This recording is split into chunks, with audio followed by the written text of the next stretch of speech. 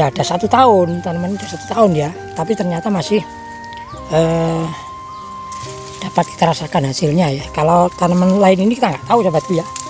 Karena kita hanya rekomendasikan tanaman kecipir yang saya tanam di ladang saya sendiri. Nah ini ini buah apa bunganya nah tidak sempurna sekali toh. Ini bunganya nah ini juga calon putih bunga. Oke kita lihat kembali ini sebagian sudah mulai berbuah. Tapi pemirsa ya ini yang dahannya atau daunnya eh, sedikit tapi bunganya bunganya sangat lumayan sekali ya ini bunga dan buah sudah tampak sekali. Oke yang jelas untuk sahabat taniku semuanya eh, jangan lupa dibantu subscribe kami ya. Jatimulya TV sahabat Indonesia. Assalamualaikum warahmatullahi wabarakatuh. Alhamdulillah hari ini kita kembali mereview sebuah tanaman yang lama sekali tidak kita kunjungi. Dan hari ini kita bisa berkunjung kembali ke lahan kami ya. Kita berada di sebuah tanaman cipir cipir ini sudah berusia sekitar satu tahun tapi ternyata pertumbuhannya masih sangat sempurna sekali. Karena ini musim penghujan sahabatku ya. Tentunya seperti apakah perjalanan hari ini simak terus bersama Jatimulya TV sahabat tani Indonesia Oke sahabatku di depan kita ini sudah terdapat uh, tanaman cibir yang nama yang mana tanaman ini sudah lama sekali tidak kita upload dan uh, beberapa hari yang lalu kita sudah membersihkan tempat ini ya. Ini kalau yang namanya buah belum begitu sempurna karena memang di musim penghujan. Tapi uh, pertumbuhan untuk daunnya sangatlah sempurna sekali ini terdapat juga ini sebetulnya nah ini ya sudah mulai terlihat beberapa putih bunga. Ini menandakan bahwasanya walaupun tadi musim penghujan ini tanaman masih bisa membuahkan hasil ya. Musim penghujan masih bisa membuahkan hasil ya. Ini sayang sekali juga yang namanya gawar ini ya terputus. Oke nanti kita benahi ya. Nah ini ternyata gawarnya terputus ini ya. Untuk sahabatku semuanya di mana pun anda berada yang jelas kita patut bangga ya sebagai bangsa Indonesia. Karena kita juga baru saja menyelesaikan yang namanya pesta demokrasi atau pemilu dan sudah berjalan dengan lancar. Dan saatnya kita bersama-sama kembali ke posisi semula atau ke pekerjaan awal semula ya. Jadi yang tani kembali ke tani. Yang di kantor kembali ke kantor. Dan kita terfokuskan di eh, pertanian ya. Nah ini ya. Ini eh, tanaman kecil saya. Memang kita ambil di lahan saya sendiri ya. Di lahan saya sendiri yang dulu sering kita pakai live untuk malam ya. Jadi kita dulu waktu apa? Waktu pengambilan buah atau pemanen itu malam hari. Oke sekali lagi kita coba mereview. Benarkah bunga-bunganya tampak banyak? Tapi ini memang buktinya ya buktinya bunganya sudah mulai nampak. Nah ini ya. Bunganya sudah mulai nampak dan tumbuhannya pun sangat sempurna sekali dan seser, uh, sesering kali mungkin kita membersihkan dandan singkong seperti ini ya. Karena ini bisa ketinggian. Nantinya kalau ketinggian kita juga akan merasa kesulitan kalau ketinggian sahabatku ya. Nah ini mungkin sahabat-sahabatku semuanya sahabat tani semuanya bisa berinteraksi di sini ya bisa berkomentar. Nah silahkan komentar anda kami tunggu di 085 89 56 52 988 jika buahnya ya. Ini uh, ini terlihat sekali beberapa bunga. Ini insya Allah akan jadi ya. Nanti kita review kembali sahabatku ya kalau udah menjadi buah. Karena memang hari ini kita sebetulnya mau bersih-bersih lur ya tapi juga uh, melihat kondisi seperti ini makanya kita coba untuk uh, apa ya melakukan mereview. Nah ini kalau beberapa hari yang lalu sempat yang namanya kehabisan air lur ya. Tapi karena udah musim penghujan ini air dah normal kembali dan tumbuhannya sangat tumbuh sempurna sekali ya. Ini yang perlu diperhatikan. Bahasanya untuk eh, yang menjalar ini ya yang rambat istilahnya yang rambat ini harus ditata rapi. Harus dinaikkan. Nanti ditakutkan kalau ini dapat ya. Apa itu? Kalau merambat ke bawah nanti bisa cilaka kita. Bisa mempersulit diri kita sendiri ya. Nah ini ya. Ini yang di bawah ini ya di bawah. Harus kita naikkan ke atas biar aman.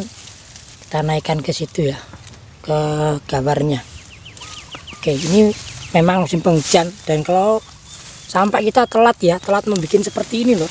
Ikan kalinan seperti ini ya air bisa masuk-masuk ke sini ya. Makanya ini nantinya bukan hanya tanaman kecibir kita akan mencoba bikin tanaman tumpang sari di sini ya. Nah teman tumpang sari. Dan inilah ya, sebetulnya ini eh, kalau kemarin ada yang menanyakan berapa sih jarak tanam tanaman? Ini tanaman jaraknya ya sekitar satu meter lebih kawan ya. Sekitar hampir 2 meter ini jarak jarak tanam kecipir ini ya.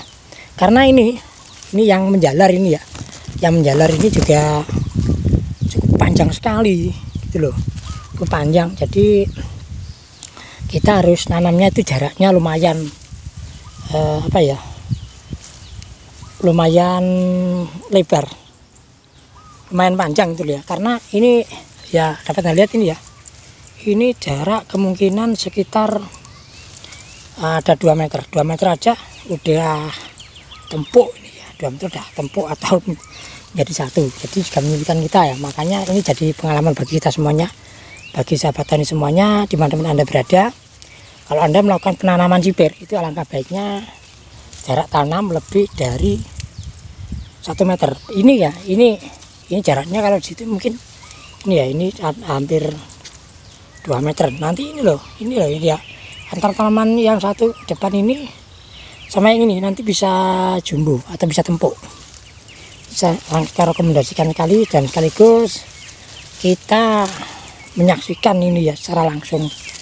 Ini kita tidak melakukan apa-apa kita hanya menata ya menata tanaman kecil ini. Dan e, di musim penghujan seperti ini ya Alhamdulillah masih bisa dipanen. Kemarin kita sudah memanen ya walaupun dikit bisa misalkan pemanennya pemanenannya ya.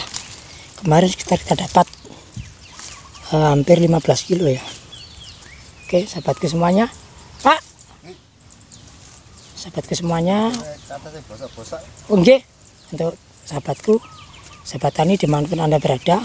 Nah ini ya ini yang uh, kemarin ini roboh karena diterpa angin sahabatku ya. Lah inilah roboh ini ya. Nah ini kalau tidak kita benahi ya nantinya ditakutkan roboh semuanya kawanku ya. Roboh semuanya. Dan di depan sana kita coba lagi melihat apakah ada buahnya. Pada kemarin ini baru kita melakukan pemanenan ya. Kemarin kita melakukan pemanenan hari ini lah ini bunganya loh. Bunganya sangat sempurna sekali sahabatku ya. Sangat banyak sekali.